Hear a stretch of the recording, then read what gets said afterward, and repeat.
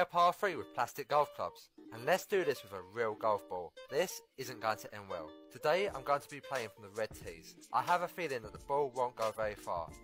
First shot and I was bracing myself for impact. I had no idea what was about to happen, but I prepared myself for the worst. And that's not too bad. Luckily the club didn't break. Second shot, and it's time to use the plastic wedge. And that's a poor shot from me. I didn't get under the ball. But the club head nearly flew off. Let me fix it. I'm defo blaming that for the bad shot. Right, now it's tight, this ball is going to fly. Just watch.